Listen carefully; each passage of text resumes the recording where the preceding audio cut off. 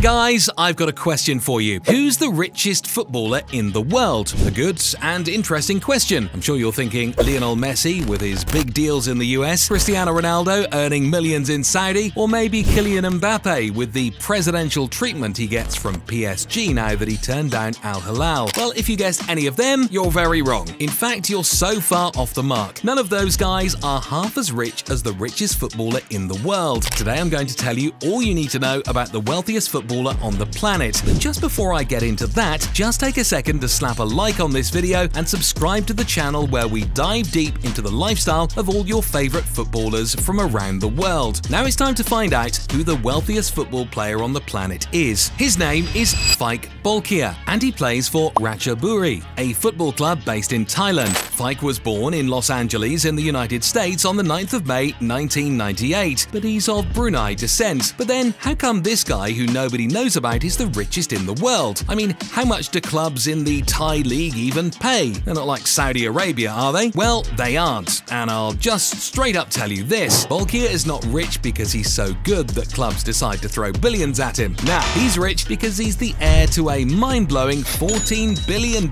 treasure chest courtesy of his uncle Hassanal Bolkiah. Yes, you heard that right. That's surely way more moolah than Cristiano Ronaldo and Lionel Messi have lying around waiting for them. Bolkiah Bolkiah got the golden ticket to the title of the richest footballer alive just by being born. But get this, Faiq isn't just any wealthy kid. His royal lineage flows from the mighty Jefri Bolkiah, an oil magnate extraordinaire and a sibling of the Sultan himself, Hassanal Bolkiah. We're talking about a legit royal family here, guys. Faiq wasn't born with a silver spoon. His spoons were made of pure gold and diamond. Just in case you still do not know how wealthy the Bolkiah family is, listen to this. Back in 97, Forbes crowned his uncle the richest human on the planet. Oh yeah, with all these fortunes at his disposal, Faiq could really have just chosen to lounge around in his family's castle and do absolutely nothing. But nah, he decided to chase a footballing career, and unlike some people might think, Faiq actually did not just buy a footballing career, he actually worked for it. His football story started at AFC Newbury in England when he was just 10 years old. His skills caught the eye of coach Paul Morgan, who said in an interview when they filled out the documents to be admitted to the academy, Faiq's representatives had to indicate their place of residence. They entered a residence built on the former site of the Hollington House Hotel. His family just purchased the hotel and transformed it into a residence. It was extremely apparent. It was evident from the beginning that they were linked to the royal family of Brunei. However, these men were well prepared and courteous. They were not all haughty. Faiq seemed to be an average youngster. This interview is telling because it shows that although the Bolkiahs are crazy rich and can have whatever they want, his folks are still down to earth and humble with it. Anyway, in 2009, at the age of 11, Faiq moved to Southampton. He spent two years there and then he left. For two years, he wasn't signed to any club, but he trained at Reading and trialled at Arsenal, where he played against Corinthians, Eintracht Frankfurt, and PSV in the 2013 Lion City Cup. Then in 2014, he joined Chelsea at the age of 16, spent a year there, and then moved to Leicester City in 2016.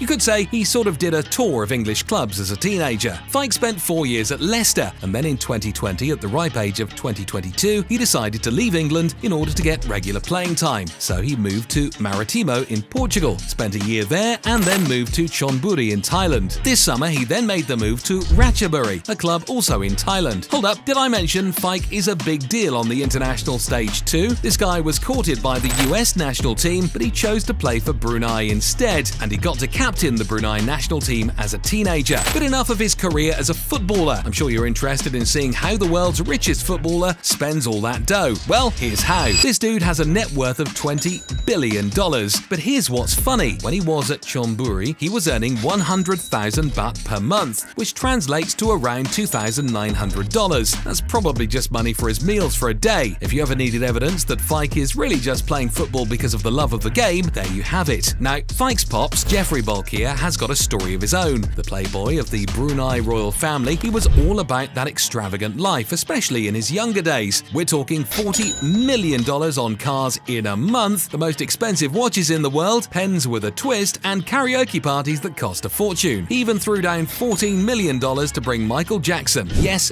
the Michael Jackson, to perform at his 50th birthday party. Nah, Faiq's old man was really about that life. But Faiq himself, he's a whole different vibe. Trust me, simple, down to earth, and not letting the riches define him. He spilled the beans in a Thai media interview. His monthly monthly salary of $2,900, more than enough for his chill lifestyle. He's living in a condo in Thailand, shelling out just around 170 bucks for rent. And get this, he's rolling up to training sessions in a Toyota Yaris. Modesty level 100. I guess this guy gets his inspiration from Eddie Murphy in Coming to America. He's not found his queen yet though. Despite being the richest footballer in the world and surely being able to get any woman he wants, Faiq is reportedly still single. He says he's focusing on his football dreams. What a guy. But you know one thing about wealthy people? No matter how humble they try to be, there's always going to be something that'll expose just how wealthy they are. And for Faiq, it's his choice of pets. People like you and me go for cats, but Big Faiq goes for big cats. His favourite pets are tigers and leopards. Okay, yeah, that's wild. Literally. Tigers and leopards? Those are definitely pets only a billionaire can have. But the craziest part is that Faiq reportedly has a credit card with a cap of around $820,000, which was handed to him by his dad. Wow, this guy is really just casually walking around with close to a million dollars in credit. God damn. Faiq Bolkiah is still yet to win any gold or silver as a footballer, but I'm sure he's not so bothered about that because he's got more than enough gold and silver at home. But I'll be honest, for someone who's worth $20 billion, Faiq leads a pretty surprising life. If you found out you were the heir to a $20 billion fortune today, what would be the first thing you'd do? If you want to check out what the more known players make, such as Kevin De Bruyne or Erling Haaland, click on the videos here to see it up next.